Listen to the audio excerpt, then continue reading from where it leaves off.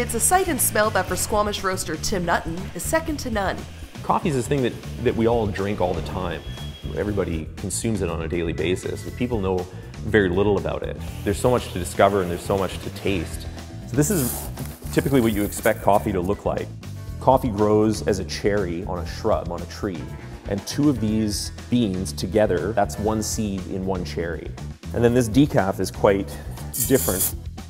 This is from the decaffeination process. It causes the coffee to be brown. Like most people, this former safety consultant has always enjoyed a good cup of coffee.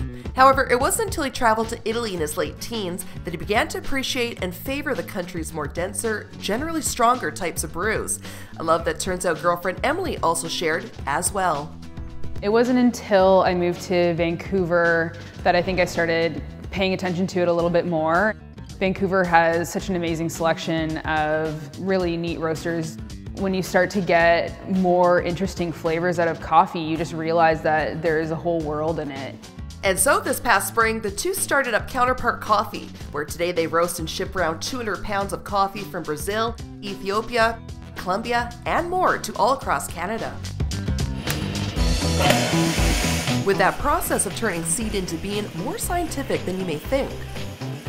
Coffee is the most chemically complex food that we consume.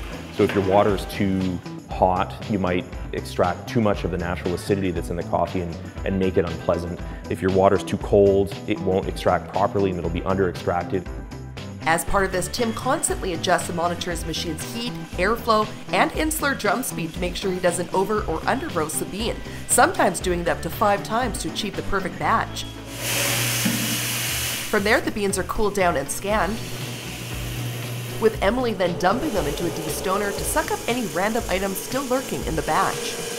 While they're collecting all the coffee to put it into the burlap bags to ship out, sometimes little rocks or pieces of concrete end up in the bags. So this is the collection that we've pulled out of the destoner. And that's when things get really noisy.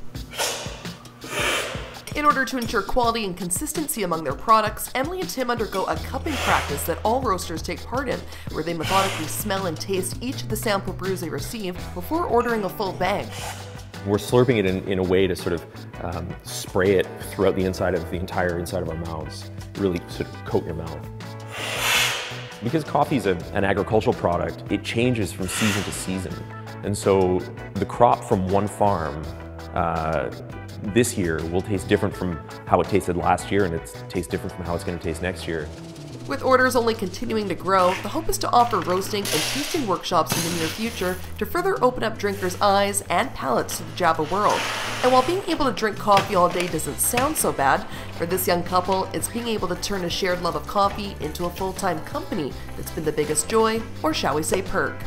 It's kind of a really neat blend of science and art. It's been really exciting. It's really exciting to see how it's grown. There's a growing taste for better and better coffee in Squamish.